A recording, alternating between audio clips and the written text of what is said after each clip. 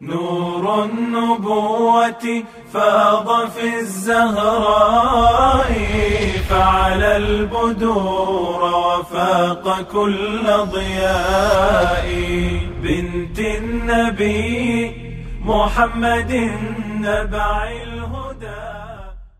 قضیه دفن فاطمة زهرا هم جناب استاد خیلی مهم هست اگر یک اشاره بهش بشه.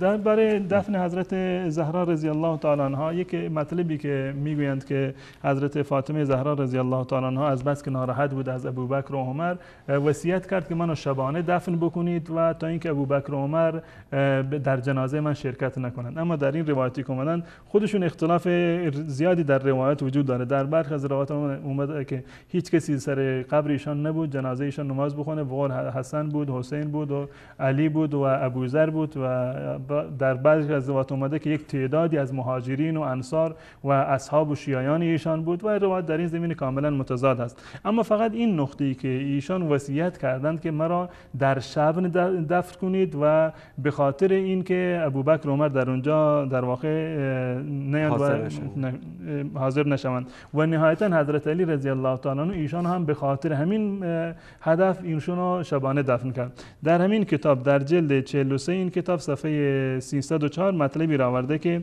حضرت فاطمه زهرا رضی الله تعالی به ایشان پیشنهاد داد که بعد از من با خواهرزاده من با امامه ازدواج بکن فاذا انا قضیت نحبی و دنباله وصیتش اینه که عین وصیت حضرت فاطمه زهرا را آورده در صفحه 204 این اگر نشون بده که بینندگان این مطمئن باشن برای این مطلب می‌گوید که فاذا انا قضیت نحبی زمانی که من مردم بله صفحه نه 204 صفحه 204 و جلد 43 در اینجا می‌گوید که فاذا انا قضیت نحبی زمانی که من مردم و از دنیا رفتم فاخرجنی من ساعتک فورا منو بیرون بیار.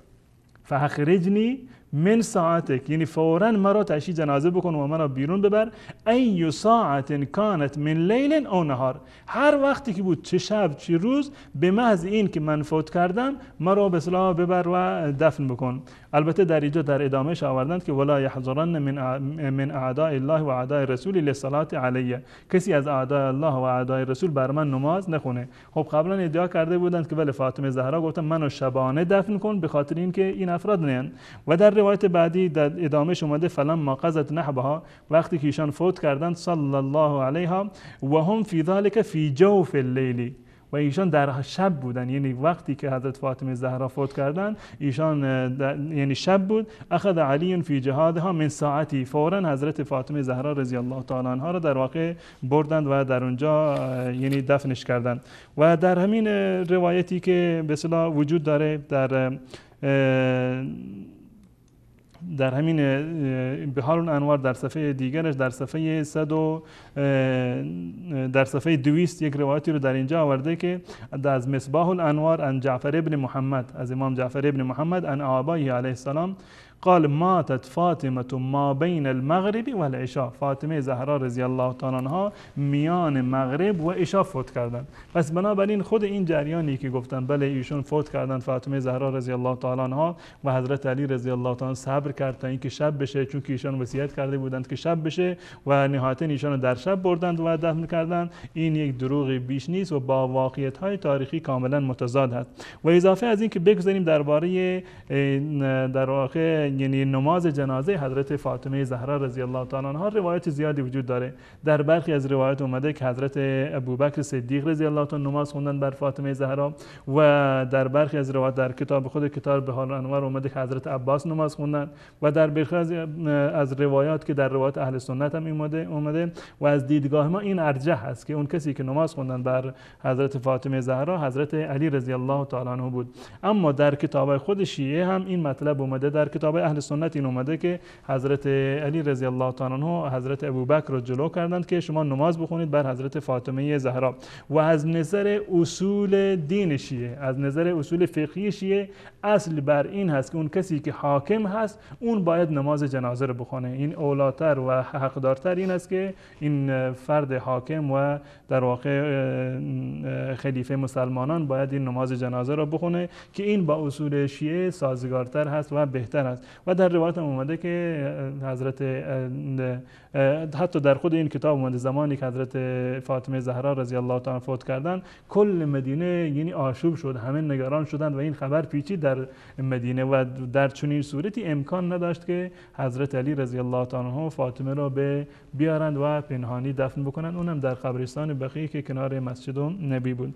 و در این زمین حرف و حدیث بسیار زیاد هست اما وقت ما متاسفانه به پایان رسید. بله خیر یک چیزی هم در اینجا می‌خواستم اضافه کنیم در اصل به حساب به اساس وصیت فاطمه رضی الله تعالی عنها بله. کسی که غسل و تک غسل و تکفین یا فاطمه رضی الله عنها را به عهده داشته اسما بنت امیس همسر ابوبکر صدیق رضی الله عنه بود.